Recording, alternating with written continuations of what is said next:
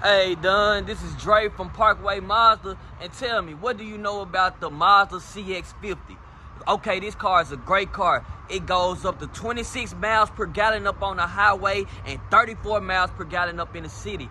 Also, it has a five-year warranty for your car. You get a 36,000 five-year warranty, and you also get another five-year warranty for your powertrain up to 60,000 miles. Yes, it's right, 60,000 miles.